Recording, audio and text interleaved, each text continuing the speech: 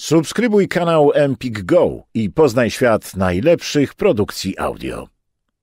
Empik Go zaprasza do wysłuchania książki Agnieszki Szpili zatytułowanej Heksy. Czyta Baśka Liberek. Córkom, Milenie, Helenie, Jagódce oraz wszystkim moim cudownym przyjaciółkom. Na początku. Szpila, powiedziała Zajdel. Tatarak to kłącze wiotkie, miękkie, cudowne. Wcale nie musisz masturbować się tym, co twarde. To teraz pomyśl sobie ty, co jesteś taka jak ja lub tylko trochę inna, bo masz pieprzyk na lewym, a nie na prawym pośladku, granatowe, a nie zielone ślepia, mniej albo więcej centymetrów w pasie lub biuście, dłuższe lub krótsze włosy, więcej lub mniej pokory i trwogi w sercu, uwięzłego w gardle krzyku, goryczy i żółci w wątrobie. Wątrobie stanowiącej capital city naszych emocji, zdominowanych przez wszechpotężny, wszechogarniający i dziedziczony nie tylko genetycznie w kurw, który przynajmniej raz w miesiącu robi taki pożar, że płoną góry, płoną lasy, płoną kryte strzechą chaty, stodoły, i remizy strażackie z wyjącymi w czasie alarmu pożarowego wozami strażackimi też płoną. A do tego luksusowe hotele, pałace chamstwa i pałace kultury, mosty, wiadukty, ulice i elektrownie, kopalnie pierdolonego węgla kamiennego, przedłużenia męskiego yang ryjącego w świętej cipie naszej planety matki potężnym dłutem. Wkurw, który daje ci siłę, by żyć, ale i ją odbiera, nie pozwalając, byś kiedykolwiek poczuła w sobie bezpieczny spokój. Wkurw, który żarzy się tak, że oświetla ci drogę. Wkurw, którego się trzymasz, żeby znowu nie poczuć bólu. Wkurw na trzy razy P. Penisa en general, politykę i patriarchat, z którymi wiążą się kolejne P. Przemoc ekonomiczna i fizyczna, przemysł porno, będący także pewną formą przemocy, przemysł jako taki, będący największą formą przemocy wobec naszej znieważonej przez pozostałe P Matki Ziemi. Wkurw stanowiący centrum płonącego w tobie ogniska, do którego od czasu do czasu podrzucasz płonne nadzieje, sny i pragnienia, a czasem także i dzieci, które wydałaś na świat przez przypadek albo z wielkiej miłości, a które dały ci tak bardzo w kość, że błagałaś w myślach opiekę społeczną, by przyszła i odebrała ci je pod zarzutem radykalnych zaniedbań. Wkurw, który zalewa ci oczy za każdym razem, kiedy się na coś nie zgadzasz, a nikt cię nie słucha. Wkurw, od którego wkrótce zapłoną świątynie wszystkich wyznań, z których cię po prostu skreślono albo wygnano, bo twoja miesięczna krew nie jest kurwa halal. Wkurw, od którego zajmą się drewniane ławy sejmowe, niezliczone teczki i akta sprzymierzone przeciwko twoim sprawom i twojemu życiu. Wkurw, od którego zapłoną nabite na palczaszki kochanków lub mężów spaczonych patriarchatem, przemysłem i pornografią. Pomyśl sobie, że Zajdel ma rację. Że czas przestać pożądać tego, co twarde, nabrzmiałe, sterczące, w erekcji. Że tylko zamykając na to swoją nadużytą do granic wulwę, twoje najczulsze centrum, będące zarazem centrum świata, możesz faktycznie wpłynąć na dalsze losy planety.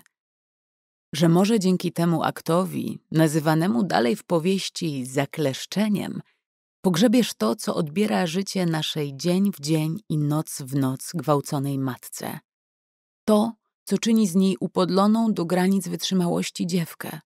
Kopalnie węgla, rafinerie, elektrociepłownie, emisje trujących gazów, gloryfikację gówna, przemysł porno, w którym sankcjonuje się tylko to, co w erekcji, także metaforycznej, co sterczy, a nie co się płoży. To dzięki tobie może nareszcie zginąć to, co w erekcji, a narodzić się to, co wilgotne, czułe, elastyczne i miękkie. Jeśli choćby tylko via vagina odmówisz grania w tę grę, w której i tak nigdy nie wygrasz. I nigdy nie przegrasz, bo zawsze będziesz siedzieć na ławce i czekać na zmianę. Ty, co jesteś taka sama lub prawie taka sama jak ja, jak moja matka, babka, prababka czy siostra, której nie mam, a którą mi bywasz, gdy tylko sobie przypomnisz, że prócz tej biologicznej twoją matką numer jeden jest Matka Ziemia, jesteś prawdziwą bohaterką tej opowieści. Choć pewnie jak ja nie rozpoznasz w niej siebie z imienia. Czy będziesz tą, która zdecyduje się to zakończyć? Bez względu na cenę, jaką za to zapłacisz? Część pierwsza. Historia szaleństwa Anny Scheibel. O ogniow-kurwie, który bywa antycypacją. Po rynku założonym na planie prostokąta, z wyrosłymi wysoko ponad dachy okazałych mieszczańskich kamienic wieżami kościołów i wielkim, bogato zdobionym ratuszem, snują się mężczyźni i kobiety ubrani na starą modłę. Kobiety w długich do kostek szerokich spódnicach, białych haftowanych bluzkach kryzowanych pod szyją, z bufiastymi, wyszywanymi jedwabną przędzą rękawami i mężczyźni w spodniach przydługich, puszczonych w buty zakończone zdobnymi klamrami, tudzież przykrótkich, odsłaniających obciskające łydki rajstopy, podświętnych koszulach, kamizelach, żupanach, przykrywających głowy strojnych kapeluszach. Po krętych uliczkach wybrukowanych kocimi łbami, ocienionych trójkondygnacyjnymi kamienicami bogatych mieszczan ze spichlerzami na wzór niderlandzki umieszczonymi na wyższych piętrach, z dachami krytymi piękną czerwoną dachówką, na której z lubością przysiadały na długie godziny gołębie i wróble, leniwie przechadzały się koty, zdążając w stronę targu, by jaką spyrkę na jadkach pochwycić. Gwar panujący na rynku i coraz to nowa fala ludzi z rozmaitymi artykułami na wozach, rozgdakanym ptactwem domowym, wzorzystymi tkaninami, suszonymi połciami mięsa, konwiami wypełnionymi mlekiem tak, że rozchlapywało się w transporcie, raz po raz zalewając któregoś z przechodniów, nie wskazywały na to, że prócz targu dzieje się w mieście coś nadzwyczajnego. Tym, co wprowadzało niepokój, była zwiększona, jak na zwykły dzień targowy, liczba oddziałów straży na rynku. Nagle rozległy się dzwony ze wszystkich kościołów. Biły nierównomiernie, co wzbudzało jeszcze większy niepokój, bo wrzynało się niczym klin w zwykłą, bezpieczną codzienność. Kiedy zaczęły bić, ludność ponaglana przez konną straż poczęła się rozstępować na dwie strony, tworząc rodzaj szpaleru. Niewiast idących przez szpaler było ze dwa tuziny, Mimo upału przymarzły do szpiku kości. Kompletnie nagie, z wielkimi krzyżami pokutnymi na szyjach. Z głowami ogolonymi na łyso, posypanymi popiołem. Wyglądały jak zjawy. Żywe trupy wracające z wojny. Powłóczyły nogami, idąc bardzo niepewnie, bo palce u stóp miały zmiażdżone i wyłamane. Palce u rąk wyglądały podobnie. Zwisały bezwładnie, jakby trzymała je tylko umazana krwią skóra. Niektóre niewiasty krwawiły z dróg rodnych, innym krew ciekła z ponacinanych piersi i z innych miejsc w ciele, rozszarpanych ostrym narzędziem. Obrzucano je wyzwiskami końskim gównem, którego na rynku, zwłaszcza w dzień targowy, walało się pełno. Celowali w nie głównie mężczyźni. Niewiasty bowiem a to wznosiły oczy ku niebiosom, jakby tam pomocy szukając, a to spuszczały je, wbijając wzrok w ziemię, czy to ze wstydu, czy poczucia winy, czy z jeszcze jakiego innego powodu. Staruszka zachwalająca komuś nalewki własnej roboty, aż po trzykroć zrobiła na czole znak krzyża, a garncarze oferujący swoje wyroby, makutry, michy, gliniane łyżki do nabierania strawy, walili chochlami w naczynia, czyniąc do wtóru z przeklinającymi ich świętoszkami kakofonię jak w szariwari. Jedynie cudzoziemcy sprzedający wonności w bogato ornamentowych, srebrnych puzderkach i egzotyczne ptaszki, jak kanarki czy papugi, patrzyli na ów żałosny pochód z niedowierzaniem i trwogą. Pochód zamykało grono biskupów w szatach bogato wyszywanych złotą nicią i drogimi kamieniami, pilnując, czy aby na pewno żadna z niewiast nie będzie próbowała uciec. Dwie pierwsze szły mimo ran najpewniej z dumnie podniesionymi głowami. Nagle przed kobietami, tuż obok domu wagi, wyrosła konstrukcja, której przeznaczenia nie mogły się jeszcze domyślić. Zbudowana z czerwonej cegły, Wysoka na osiem stóp, z mosiężnymi drzwiczkami, przez które by przejść, trzeba się było niemal w pół zgiąć i do ziemi pochylić. Od góry, miast dachem, przykryta była słomą, na której leżały luźno porozrzucane polana i deski. Dopiero kiedy spędzono je wszystkie do środka, ujrzały coś, co potwierdziło od dawna rozchodzące się po mieście plotki. Ruszt pod sufitem. Kilku z nich, błagającym o ścięcie przed spaleniem, udzielono tej łaski. Kat dał im znak, by ułożyły głowy na pieńkach, a było tych pieńków dokładnie tyle, ile zapędzonych do pieca niewiast. Może dziesięć, a może dwanaście, w każdym razie mniej niż połowa skorzystała z przywileju. Reszta, na czele z tymi dwiema, które szły z przodu, chciała być spalona żywcem. A kiedy drzwiczki budowli zostały zamknięte, a ruszt podpalony od góry, niewiasty, czego nie widział nikt z zewnątrz, ułożyły się jedna na drugiej, same z ciał swych stos tworząc i przywarły do siebie tak szczelnie, że nawet źdźbła słomy nie wciśnięto by pomiędzy nie. Zanim buchnął płomień, zaczęły się delikatnie poruszać jedna na drugiej, ruchy tak nieznaczne wykonując jak liście na wietrze wiosennym, co ledwie je muska. A każdy ów ruch wzbudzał chęć ruchu u leżącej nad nią, jakby lawinę owych niezauważalnych, a odczuwalnych drgnień wywołując. I z tego bezruchu, który jednak był ruchem, gdzieś wewnątrz tego zwartego organizmu, tej jedni, wytworzył się taki płomień, że w chwili śmierci i tak buchnął z nich ogień i rozpaliła je rozkosz. Wyglądało to tak, jakby wiedziały, co robią. Kiedy płomienie zaczęły lizać im stopy i włosy, kobiety były spokojne, bo już nie tożsame z tym, co cielesne. Od ciał swoich oddzielone. Żywe, choć w ciele martwe. Spopielone. Gdy straż po trzech kwadransach otworzyła drzwi i potwierdziła zgon wszystkich, zerwał się nagle wiatr tak potężny, że cały popiół z pieca wywiało na zewnątrz. Byli pośród świadków na rynku głównie tacy, co zasłaniali nosy i usta, by popiół przeklętych przez kościół niewiast nie wdarł się nosem czy gębą.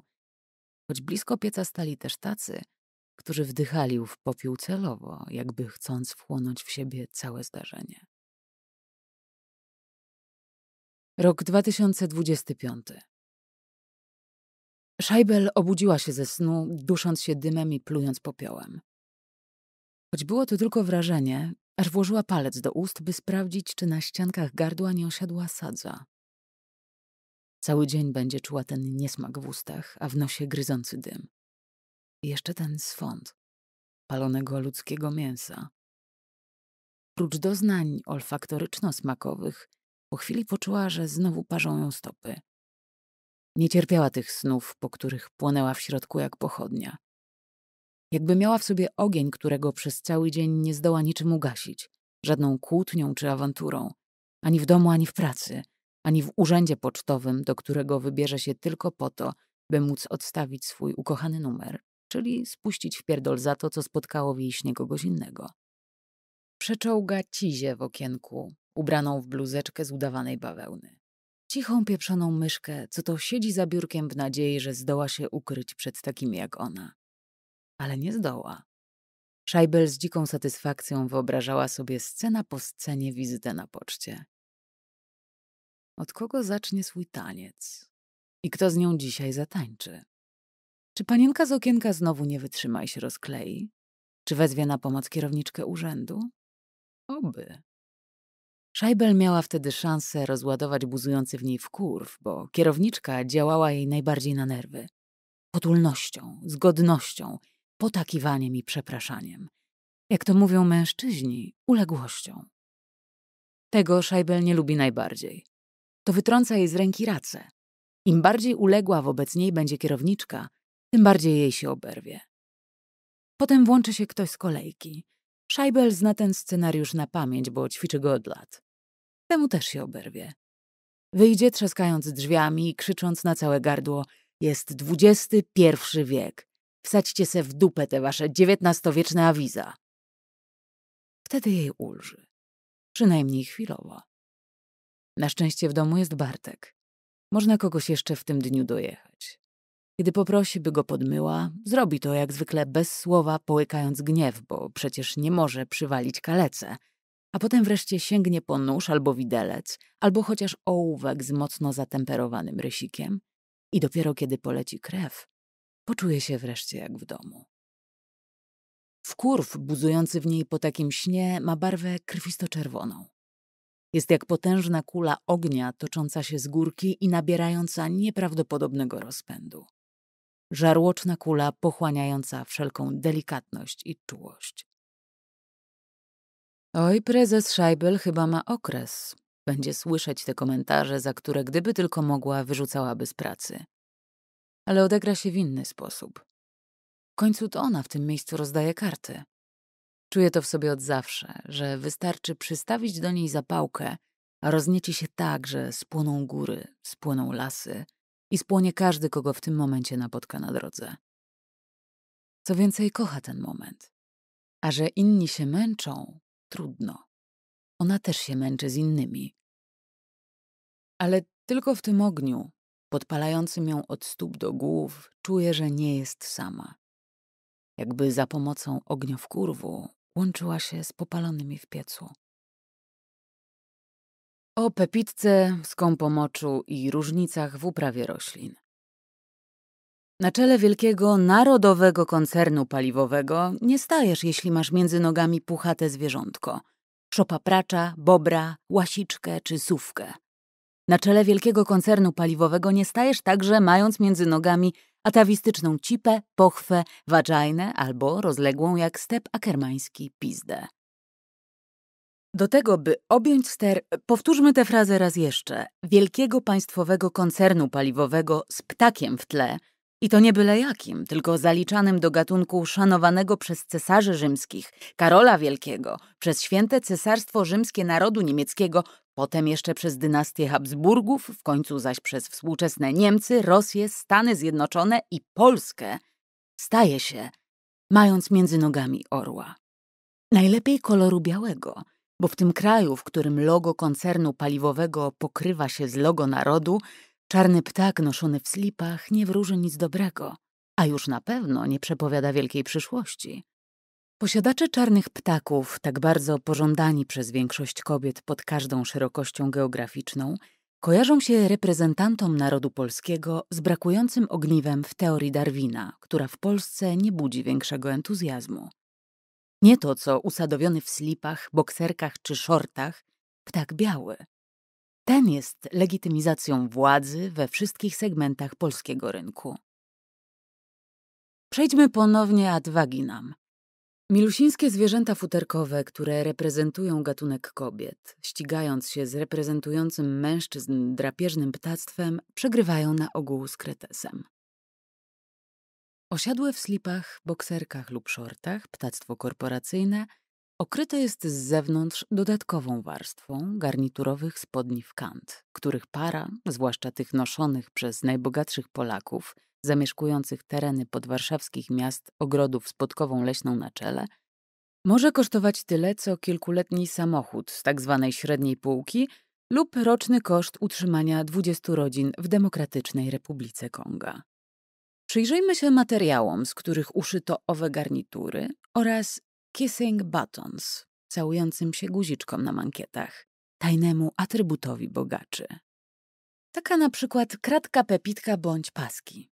Częste wzory tkanin wybierane przez establishment i intelektualne elity zamieszkujące miasta ogrody, miejsca odebrane naturze przez bogatych i dla bogatych, by w przeciwieństwie do biednych nie musieli oddychać ubocznymi produktami rewolucji przemysłowej.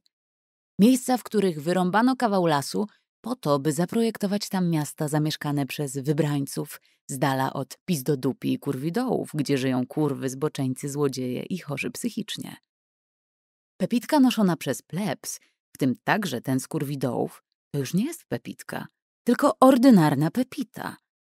Różnica od razu rzuca się w oczy. Kratka na ramionach marynarki oraz na bocznych szwach spodni nigdy się nie schodzi. Linie nie stykają się tak jak w przypadku elitarnej pepitki i zamiast przynosić patrzącemu uczucie spokoju i dystyngowanej radości, jaką daje odnalezienie we wzorze harmonii, przynosi rozczarowanie, chaos i wrogość. Noszenie pepitki przystaje tylko mieszkańcom miastogrodów. Podobnie rzecz ma się z paskami. W kurwidołach już na pierwszy rzut oka widać, że ubranie zostało skrojone z jednej płachty materiału, podczas gdy w świecie elitarnym, reprezentowanym przez wielki biznes z koncernem paliwowym na czele, a także przez tak zwaną inteligencję, na jeden garnitur przeznacza się średnio o 5 metrów więcej. Po to, by paski się stykały.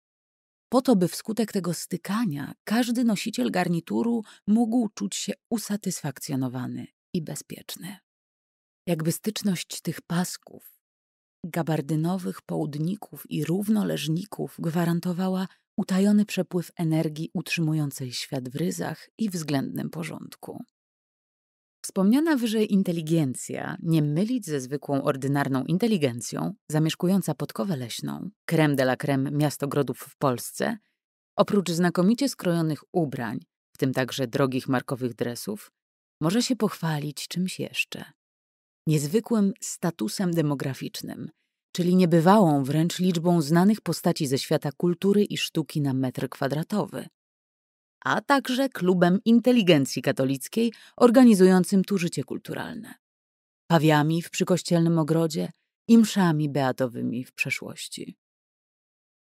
Proszę Państwa, proszę sobie wyobrazić, że mieszkają Państwo obok słynnej pisarki z lewej i najwybitniejszego reżysera teatralnego w Polsce z prawej strony. Zaśmiejąc naczynia w kuchni, widzicie ze swojego okna uprawiających jogging gwiazdę filmową i polityka, który zostawił dla niej żonę wraz z dziećmi. Czy to nie wspaniałe? Taka liczba wybitnych postaci na tak niewielkiej przestrzeni. Nic dziwnego, że reklamowana w ten sposób podkowa leśna na wielu kongresach czy zwykłych towarzyskich rozmowach zdobywa sobie coraz liczniejszych antagonistów.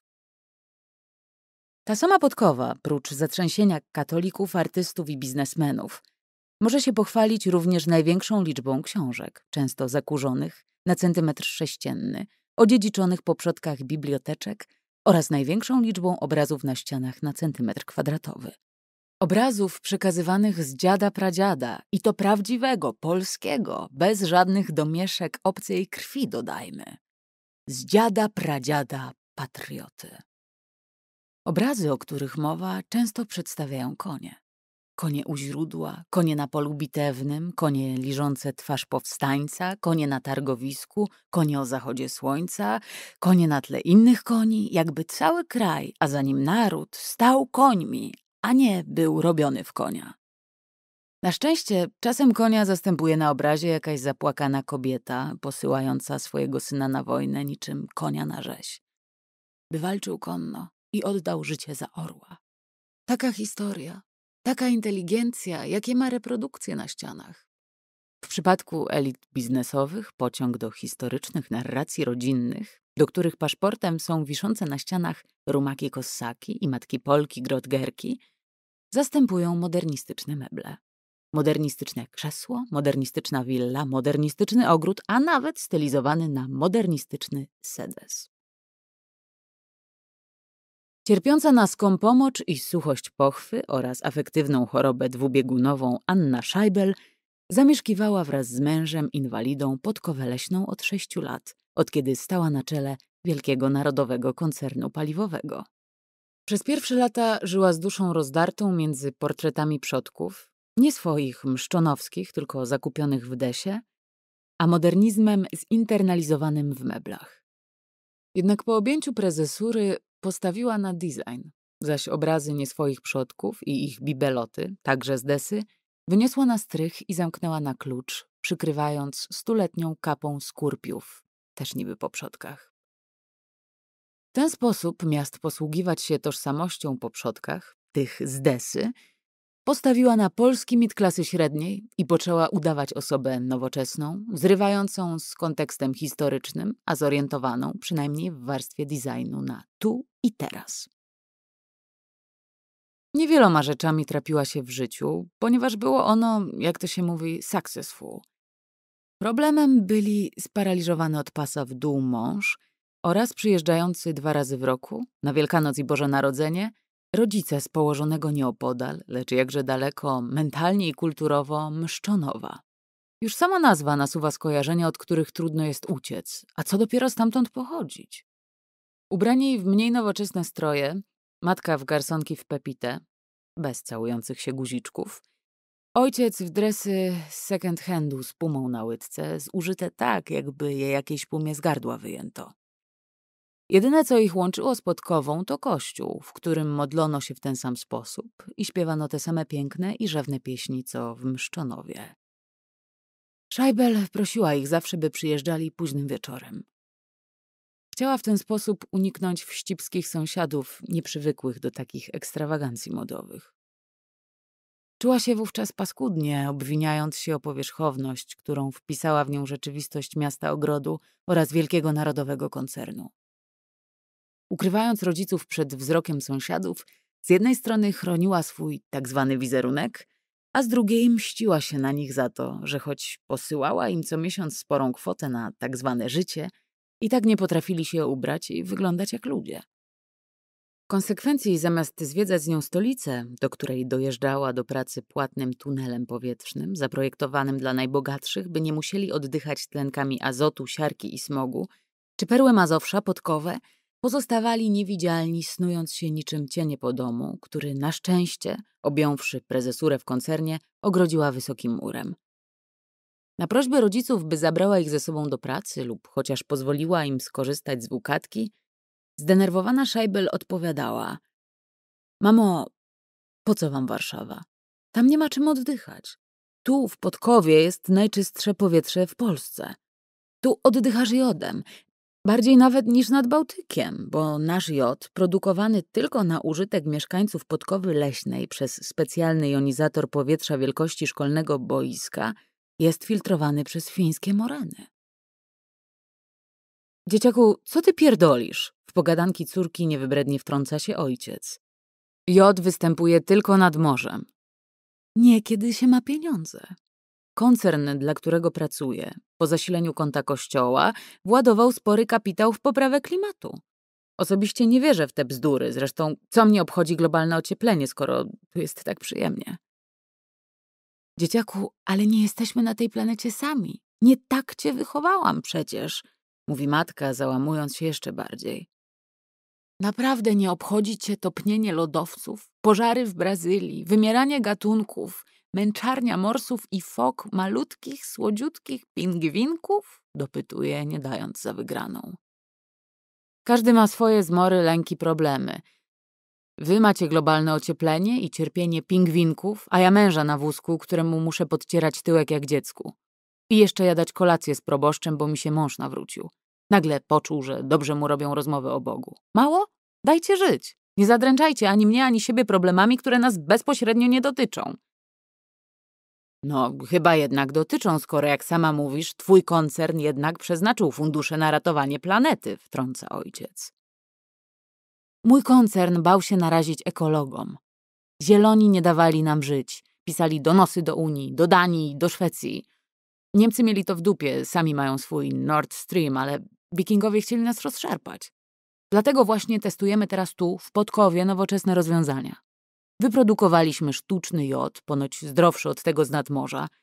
Sprowadziliśmy moreny z Finlandii, które poddaliśmy procesowi liofilizacji i te sztuczne moreny filtrują dodatkowo nasze powietrze, więc bardzo proszę, zamiast pieprzyć o śmierci planety, skupcie się na swoim zdrowiu i oddychajcie. Bo takiego mikroklimatu nie ma w Polsce w żadnym innym miejscu, a kto wie, czy poza Schwarzwaldem jest jeszcze gdziekolwiek indziej. A pamiętasz taki serial Klinika w Schwarzwaldzie? rzuca ojciec. Szajbel, tak by nie zwrócić uwagi rodziców, sięga po lit, który bierze na noc, bo wie, że jeśli go nie weźmie w tej chwili, wyrządzi im sporą emocjonalną krzywdę. Idiotyzm ojca wzbudza w niej wewnętrzny płomień, od którego zajmie się zaraz nie tylko dom, ale też szopa w ogrodzie i psie budy, w których trzyma swoje dwa rottweilery. Ojciec, z czym Szajbel najbardziej nie może się pogodzić, zawsze odwoływał się do słabych seriali, co ich rodzina nawet lubiła, ale czego żadne inne towarzystwo kompletnie nie zrozumiało, bowiem ojciec, zapytany o to, czy poza słowem występującym w tytule znajduje jakieś podstawy do porównań, wychodził na kogoś, kto zna te seriale tylko z tytułów, a i te nierzadko przekręcał. Właściwie ilekroć Scheibel zadawała sobie pytanie o powód odcięcia się od swoich bliskich, tylekroć myślała właśnie o tym. O głupocie ojca i monotematyczności matki, której myśli oscylowały tylko wokół działki i urządzania jej na kolejny turnus i na kolejny sezon. Kiedy rok po przeprowadzce zaprosiła ich na największe święto Podkowian, odbywający się od powojnia rok w rok festiwal Otwarte Ogrody, matka oferowała wszystkim, których ogrody odwiedziła, przeprojektowanie przestrzeni na wzór swojego ogródka działkowego, który prezentowała wyjmując z torebki pismo Działkowiec Polski z reportażem o jej mszczonowskim Edenie. Szajbel nie pokazywała się później w miasteczku przez rok, robiąc zakupy online i nie wychylając nosa poza swój ogród, doszczętnie zmodernizowany przez lokalnego architekta pejzażu. Naturalnie wymykała się rano swoim przepięknym samochodem do pracy i wracała po zmierzchu, by nikt jej nie zauważył. Taka to była kompromitacja. Kompromitacja mszczonowa w oczach miasta ogrodu o bogatych kulturowo tradycjach. Matka Szajbel nerwowo przechadza się po ogrodzie córki, który na samym początku, zaraz po przeprowadzeniu się Anny do Podkowy, sama projektowała. Wiedziała, jak to robić. W końcu przez 10 lat, między 2009 a 2019 rokiem, jej ogródek działkowy wygrywał konkursy na najpiękniejszy ogród Mszczonowa. Szajbel i owszem, jako dziecko lubiła tonącą w bylinach działkę swoich rodziców ze zgrabnie wytyczonym minisadem, w którym królowały renklody i czereśnie, jednak rozumiała, że działki w Mszczonowie i ogrody w Podkowie dzieli coś więcej niż przepaść. To było jak rozłam cesarstwa na wschodnie i zachodnie. Podczas gdy w naturze zorganizowanej podług gustów mszczonowian królowały nabrzmiałe piwonie, georginie i floksy przetykane tu i ówdzie sterczącymi penisami mieczyków, w ogrodach Podkowy którymi mieszkańcy tak chętnie dzielili się raz w roku z ciekawskimi, z wyjątkiem zamieszkujących nieopodal Podkowy w obozie dla uchodźców Czeczenów, prym wiodły królowe cienia, funkie we wszystkich spektakularnych odmianach oraz azalie i rododendrony dorównujące pięknem okazom z ogrodu botanicznego w Powsinie przy Polskiej Akademii Nauk. Nie były to funkie i rododendrony takie jak na rabatach w Mszczonowie, w Podkowie rododendrony były wielkie i tłuste niczym słonie. A królowe cienia zaczynały się najmarniej od odmiany Blue Elf, przez okazy kolekcjonerskie, których cena nierzadko dorównywała cenie ogródka działkowego w Mszczonowie, wystawionego na sprzedaż na mszczonowskim portalu internetowym mszczonowskidziałkowiec.pl. Istotne było również samo podejście do kultywowania roślin. W rodzinnym miasteczku Szajbel rośliny hodowano z nasion lub sadzonek, zatem te roślinne istoty przeżywały w danej rodzinie na działce, tarasie czy balkonie swoje dzieciństwo, młodość, swą jesień i zimę życia. Podczas gdy w mieście ogrodzie Podkowie wsadzano je do gruntu w najbardziej efektownej fazie rozwoju. Ważniejszy był bowiem piorunujący efekt niż sam proces hodowania. Big Wow dominował nad sekretami skomplikowanej uprawy i posiadaniem tzw. Tak ręki do roślin. Tu bardziej liczyła się ręka do pieniędzy, dlatego też podkowian stać było na najpiękniejsze w Polsce okazy. Anulku, a gdzie są te piękne kocanki i kokoryczki, które ci posadziłam? Nie widzę u ciebie żadnych naszych roślin. I kalina pomponiasta? Gdzie ona? Naprawdę wszystko wyginęło? Szajbel podkurcza i zaciska palce u stóp, tak że aż boli. Nauczyła się tego przez lata w korporacji.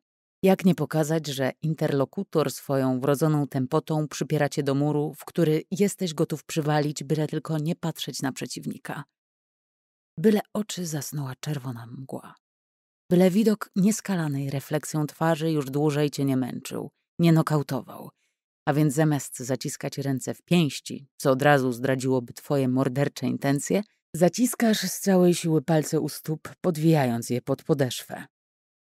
Ćwiczenie trudne do zrealizowania w ciasnych, pijących szpilkach, ale Scheibel to wie, gdyby nie wiedziała, nie stałaby dziś na czele narodowego koncernu? Nie niemożliwe. Ano wszystko, mamo. Wszystko, gleba nie taka.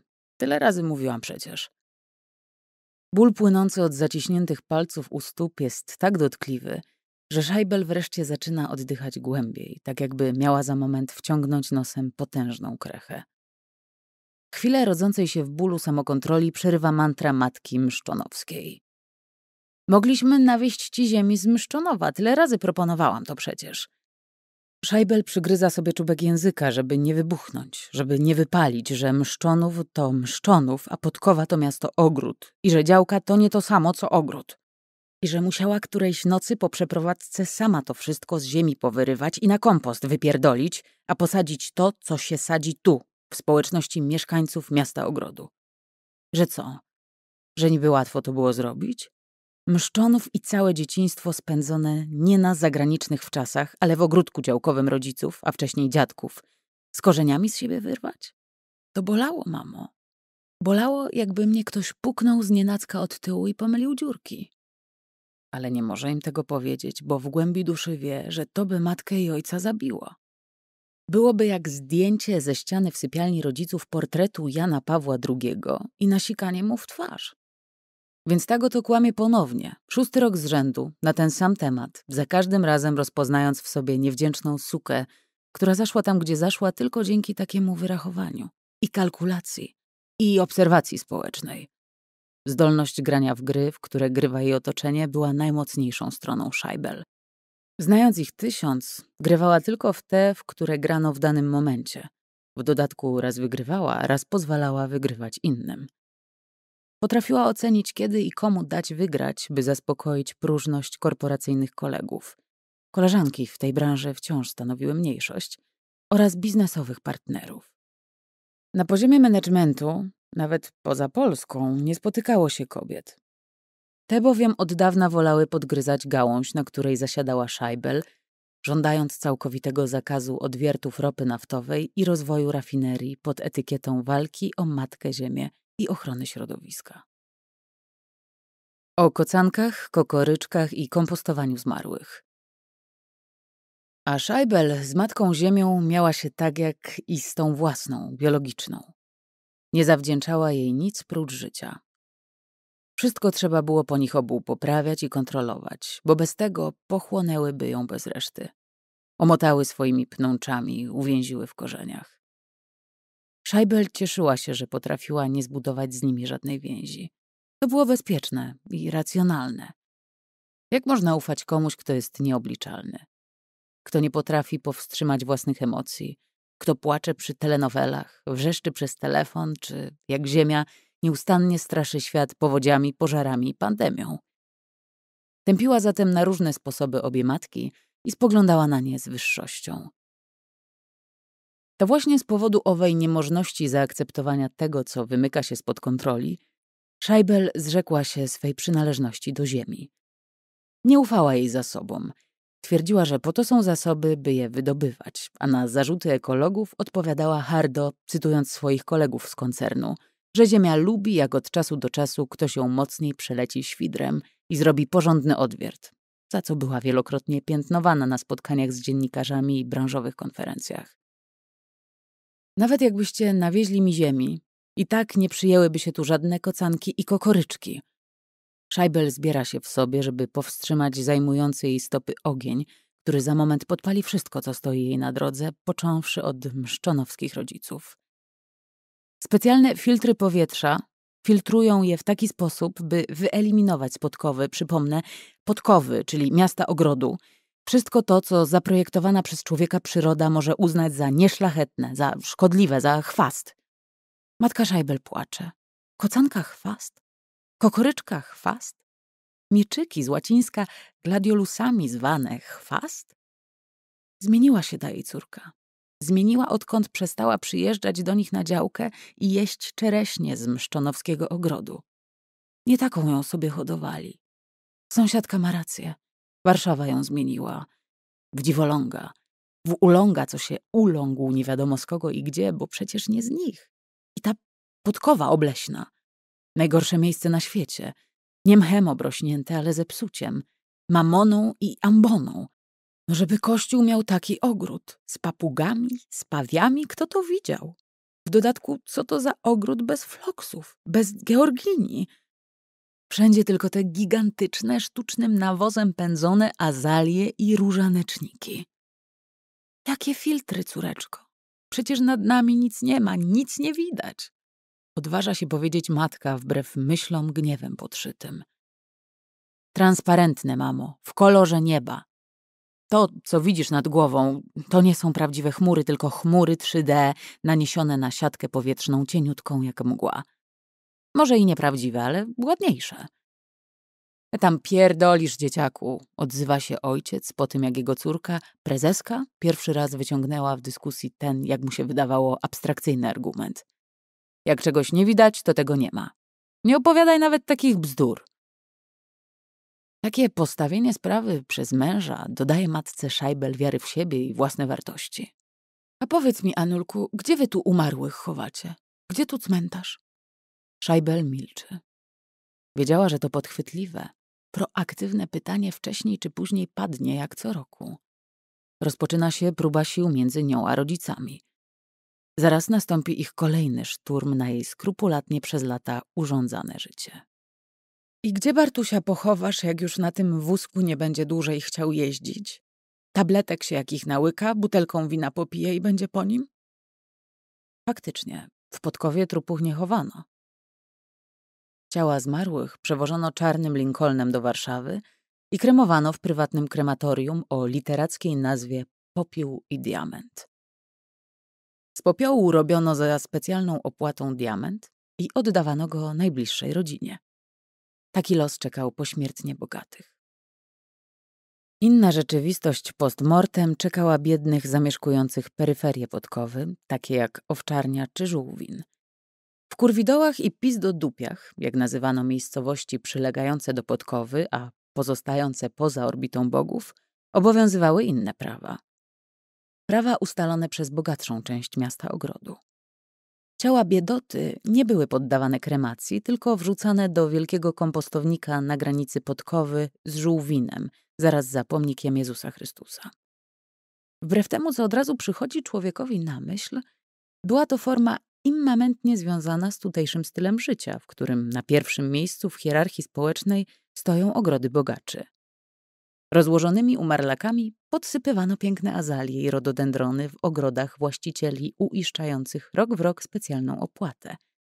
Odkompostową. Nie było sensu tłumaczyć tej mortalnej, choć z drugiej strony immortalnej filozofii zacofanym mszczonowskim rodzicom. To też podobnie jak w roku poprzednim, Scheibel udała, że prowokacja z ich strony w ogóle nie miała miejsca. Zaprowadziła rodziców do pokojów gościnnych na piętrze, prosząc jak zwykle, by nie zdejmowali butów, co jednak musieli uczynić, dbając o dębową podłogę, którą Scheibel i tak regularnie kazała cyklinować, pozwalając im zwiedzić dom raz jeszcze, wychwycić wszelkie usterki i niedoskonałości. O koprofilii i korpokarierze.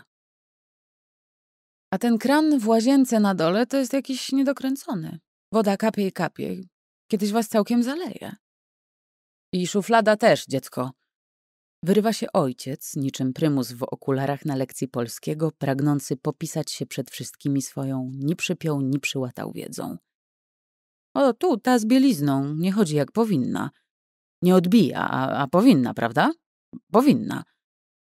Sufit ci jakoś popękał, córeczko. O, tam, w jednym miejscu. Może tata pomaluje w te dni, jak już tu jesteśmy. A co tu tak ciemno jak w trumnie? Tu zawsze tak ciemno? Szajbel, parząc rodzicom herbatę do kolacji, stara się zapanować nad trawiącym ją od środka, nadgryzającym wątrobę i trzustkę gniewem i nie dosypać im do niej trutki na szczury. Czuje się jak karzeł, którego ktoś chwycił za kołnierz i trzyma stopami nad palnikami kuchenki gazowej. Dynda w powietrzu i przebiera śmiesznie nogami, przewidując, że jak się skończą tortury, jego zgryźliwość nie będzie miała końca. Że parzony w kopytkę karzełek wkrótce się zemści. A czy w lesie kiedykolwiek jest jasno? Po to mamy te lampy wszędzie. Szajbel podchodzi do ściany i naciska włącznik. Z sufitu natychmiast zaczyna się sączyć prawdziwie słoneczne światło, jakby nagle znaleźli się na plaży w Świnoujściu. Imitujące słońce. Na szczęście bez rakotwórczego promieniowania. Można włączyć jeszcze szum lasu lub morza. Chcecie? Pyta Szajbel kurtuazyjnie, choć przez zaciśnięte zęby. W głębi duszy gorąco pragnie, by poszli już sobie do siebie, zamknęli za sobą drzwi i oddali się swemu ukochanemu zajęciu. Omawianiu tego, co się z nią stało, odkąd wyjechała z Mszczonowa na studia. Odkąd zaczęła pracę w korporacji. Odkąd przestała jeść czereśnie z rodzinnego mszczonowskiego ogrodu. Odkąd została ich córką już tylko z nazwiska, które z jakiegoś niepojętego powodu zechciała sobie zostawić na ślubie zamiast wziąć nazwisko męża.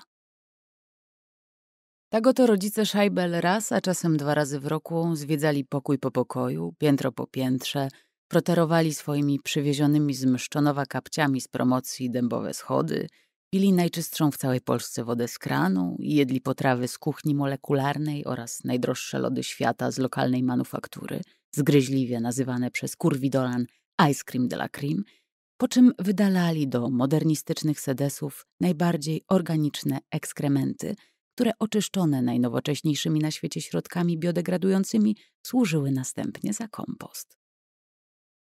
Takim właśnie domem, wartym co najmniej 10 milionów, wyposażonym w najnowsze rozwiązania technologiczne, cieszyła się od momentu przejęcia steru w Narodowym Koncernie Paliwowym Anna Scheibel.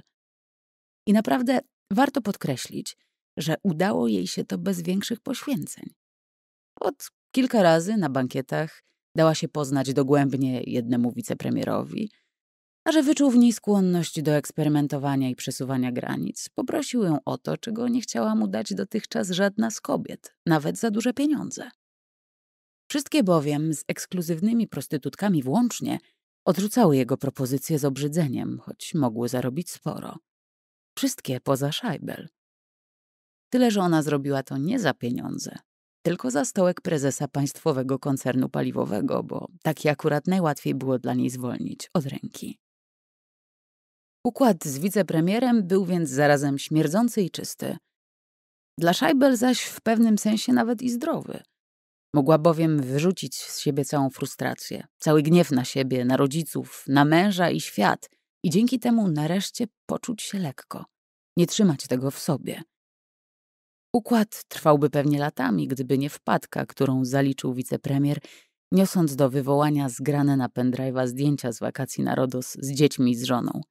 Zdjęcia, wśród których jakimś cudem zaplątało się jedno, najbardziej niewłaściwe, o potencjale rażenia tak wielkim, że ekspedientkę wywołującą je w punkcie w przejściu podziemnym przyprawiło o wymioty.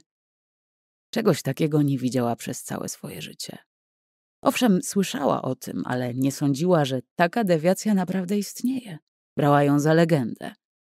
Na szczęście dla Scheibel, która poproszona przez wicepremiera o utrwalenie owych aktów perwersji na jego twarzy i klatce piersiowej, robiła te zdjęcia. Widniał na nich tylko on. Wicepremier, przykładny mąż i ojciec pięciorga dzieci. Mamusiu, co to? Co to? Jakaś pani zrobiła tatusiowi na buzi kupę wykrzyknęła pięcioletnia Jadzia, córka pana wicepremiera, przeglądająca wydrukowane w zakładzie fotograficznym zdjęcia z wakacji podczas obiadu. Nie dość, że człowiek w godzinę stracił żonę i dach nad głową, to jeszcze znieważona połowica zrobiła telefonem zdjęcia zdjęciom i wysłała je na rządowy faks do Belwederu. W dwie godziny było po człowieku. Nie zabiło go biuro śledcze. Zabiła go skłonność, z której nie wyrósł jako dziecko, bo go rodzice za szybko posadzili na nocnik.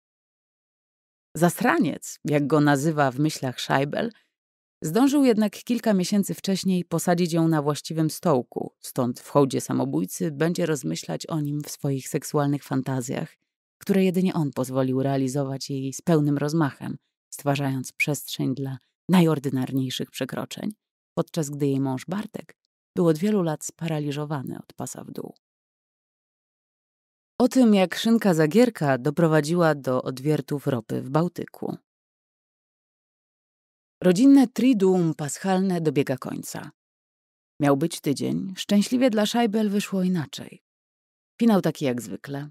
Ukrzyżowanie wszelkich złudzeń, że łączy ją z rodzicami coś więcej niż nazwisko, którego z niewiadomych przyczyn nie zmieniła po ślubie. Za co ona ich tak nie cierpi? I dlaczego oni, mszczonowscy rodzice, nie mogą w końcu skapitulować? Czy nie dokonała cudu? Wyrwanie się z Mszczonowa do Warszawy. Objęcie stanowiska prezesa państwowego koncernu paliwowego. Dom w Podkowie z ogrodem, którego dwie rabaty warte byłyby więcej od mieszkania rodziców, ich Skody Oktawi i uciłanych przez całe życie oszczędności w banku pod żubrem. Czy to za mało, by wreszcie docenili, że ich własna rodzona córka osiągnęła to sama, bez pleców, bo o jakich plecach w jej plebejskiej rodzinie może być w ogóle mowa? Czy bycie prezesem Scheibel celowo unika żeńskiej formy tego rzeczownika, uważając, że jest idiotyczna i degradująca, bo wszystko, co pochodzi od kobiet, ma dla niej wartość zdecydowanie mniejszą od wszystkiego, co męskie. To dla mszczonowskiej rodziny za mało? Ilu z nich wyrwało się ze swojego szamba? Ilu coś osiągnęło? Siostra matki, Litka, pracuje w pasmanterii. Bracia ojca, Włodek i Edek, prowadzą sklep z oświetleniem.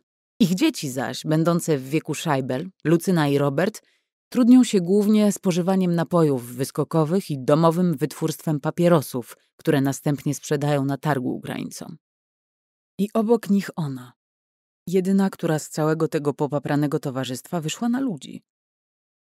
Osiągnęła coś więcej niż pierwszą nagrodę za najładniejszy ogródek działkowy w Myszczonowie. Kosztowało ją to wiele wysiłku, dwa kierunki studiów, biegłe opanowanie trzech obcych języków i seksualna afera z wiceministrem, który miał słabość, jakiej wstydziłby się sam Markiz de Sade. Nie wylizywała knotów świec ze świecznika, na jakim się znalazła i jak dotąd nie zaliczyła żadnej spektakularnej wpadki, co nie było łatwe pośród idiotów wchodzących w skład rządu, z którymi obcowała na rautach i bankietach. A wiadomo, że wielu spośród nich czekało niecierpliwie, kiedy powinieje się nóżka w szpilce – Marzenie o stołku Scheibel było dosyć powszechne. 70 tysięcy złotych miesięcznie, głównie w premiach, bo inaczej tego zapisać nie wypadało. Prasa rozszarpałaby ją na strzępy. Scheibel potrafiła się przed sobą szybko usprawiedliwić. Firma dobrze prosperowała, wszystko się zapinało, nie było zgrzytów przy podpisywaniu nowych kontraktów. Wolała postawić na Arabię Saudyjską i ograniczyć powiązania z Moskwą. Mało tego, Miała jaja większe niż jej poprzednicy. To dzięki niej Polska prowadziła teraz duże odwierty w Bałtyku. Stworzyła nową bazę, nową platformę. Dała pracę setkom bezrobotnych. Geolodzy, którym zapłaciła, znaleźli pokaźne złoża gazu łupkowego na terenie kraju. W miejscu, które do niej przemówiło ponad 30 lat temu, o czym przypomniała sobie kupując w podkowiańskich delikatesach szynkę jak zagierka. Kołobrzeg, molo, 34 lata temu. Dziura w deskach pomostu taka, że widać wodę rozbijającą się o filary. Scheibel wpatruje się w otwór jak zaczarowana. Zaczyna bowiem dostrzegać tęczowe refleksy połyskujące na falach. Dokładnie takie jak na plasterkach szynki zagierka. Kiedy mówiła babciu daj kakałka i szynki z benzynką. Dostrzegłszy tęczowe bliki na morzu przez otwór w spruchniałej desce molo, Scheibel ciągnie za rąbek spódnicy babcię robiącą na drutach sweter. Idźże, dzieciaku, pobaw się z dziećmi, daj babci chwilę. Ale nie. Mała Scheibel, bo w tym śnie ma nie więcej niż pięć lat, musi teraz, natychmiast jej coś pokazać. Poirytowana babcia odkłada druty, klęka koło wnuczki na pokładzie i faktycznie dostrzega to samo. Benzynkę, ropę. Kupująca szynkę Scheibel chwyta łapczywie świeżo przez ekspedientkę skrojony plaster w hybrydowe paznokcie. Resztę chowa do torebki i wybiega z delikatesów. Chcąc zachować maksymalną kompatybilność z przeszłością, nie jedzie do brzegu autem, tylko pociągiem, jak dawniej z babunią. Kilka godzin później leży na kołobrzeskim molo, wypatrując śladów iluminacji sprzed ponad trzech dekad. I choć tym razem na powierzchni wody nie zauważa połyskującej tęczowo benzynki, ufa reakcji własnego ciała, podnieceniu, które objawia się natychmiastowym zwilgotnieniem cipki i zarządza odwierty, do których udaje jej się przekonać przez telefon ministra przemysłu i premiera. Pytana przez niego o dowód na to, że wiercąc we wskazanym przez nią miejscu trafi się na złoża ropy, chce wykrzyczeć mu do słuchawki: Moja cipa nie kłamie, ale brak jej odwagi. Zamienia to na zwykłe wiem. Po prostu wiem. A że żadna z jej dotychczasowych decyzji nie okazała się chybiona, minister przemysłu i premier dają zgodę na odwiert, choć Scheibel słyszy od tego ostatniego ekolodzy nas kurwa zajebią. O sojowym pojebstwie i ekologach. To, co się dzieje dwa tygodnie później, potwierdza genialną intuicję Scheibel. Wszystkie nagłówki gazet i portali internetowych trąbią tylko o jednym. Polska potentatem na paliwowym rynku. Koniec zginania karku przed Abu Zabi czy Moskwą. Koniec bycia batorzonym. Choć od dekad utrzymywano, że tych złóż w Polsce nie ma lub jest ich jak na lekarstwo, nagle okazało się, że to kłamstwo. A może spisek ekologów i NGO-sów? Jakichś kurwa hawazów? Sugeruje Szajbel premierowi. O nie, ona nie z tych. Jebać zielonych. I tak wszyscy zginiemy, ale przynajmniej nie wydymani przez światową gospodarkę. Niech się inni brandzlują ociepleniem klimatu i topnieniem lodowców.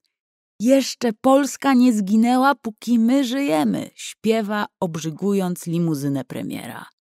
Koniec z WWF, koniec z Greenpeace, koniec z zielonymi.